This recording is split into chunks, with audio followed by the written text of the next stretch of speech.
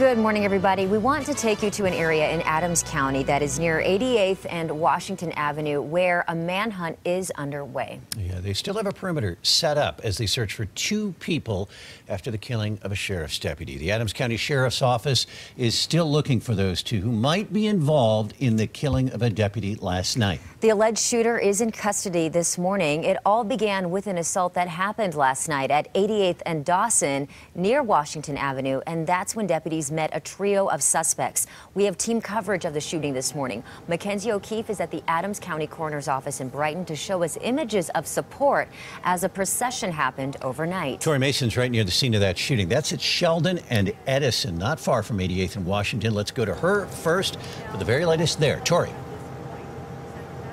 Well, Alan, still a very active crime scene. A lot of police and deputies out here behind the crime scene tape trying to find any kind of information that might lead them to those two other suspects that are still on the run. Now, police haven't been able to brief us on any new developments yet, but we do know that the alleged shooter is in custody. This all began last night. Deputies responded to an assault call in the 8700 block of Dawson just before 7. When they got there, a suspect ran from the deputies and they started to look for him.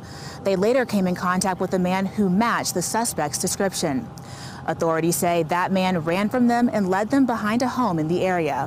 When deputies caught up to him, the suspect pulled out a gun and started firing, shooting Deputy Heath Gumm in the chest. Gumm was transported to a nearby hospital where he later died.